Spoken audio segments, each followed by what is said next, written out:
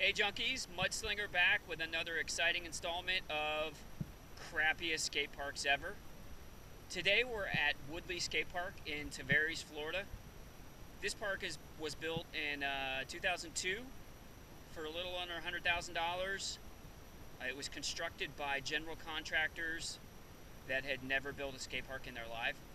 So that can either go two ways. It can either be something really creative or something really shitty. And in this case, it's the latter. So let's take a look inside and look at some of the awesome features.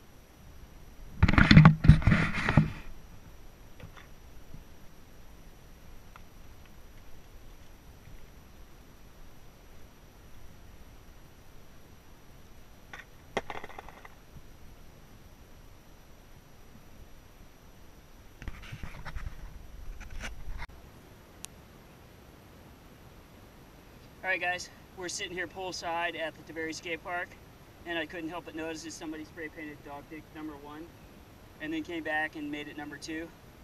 And I thought that's got to be the best place in the stupid bowl to grind, because the coping actually sticks out at dog dick number two. So I'm gonna go give it a try real quick and see if I can grind over that uh, dog dick.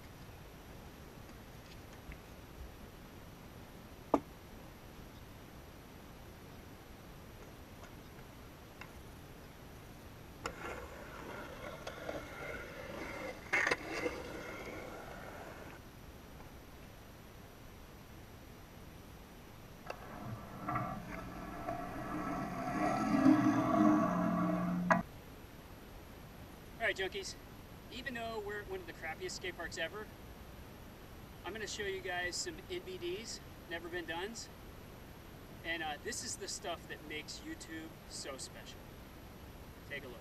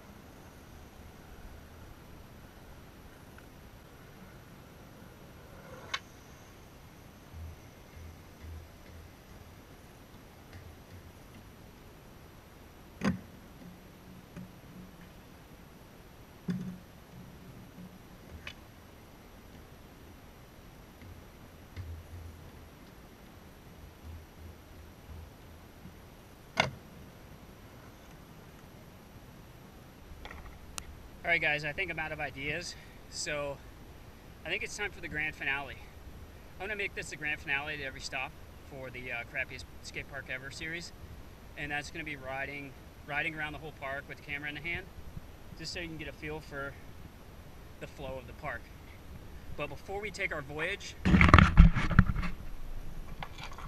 fuck you, dude. Just in case you didn't know.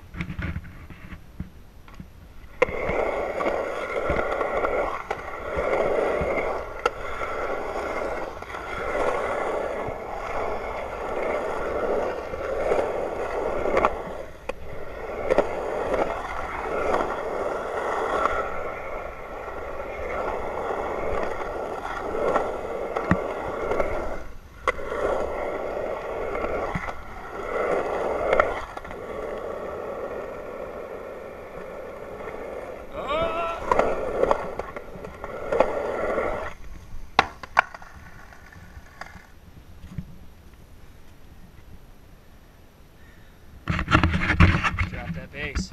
All right, that's it. that's it for the what was this called? The Woodlea Skate Park in Tavares, Florida. Um, tune back in for another exciting episode of the crappiest skate parks ever. Later.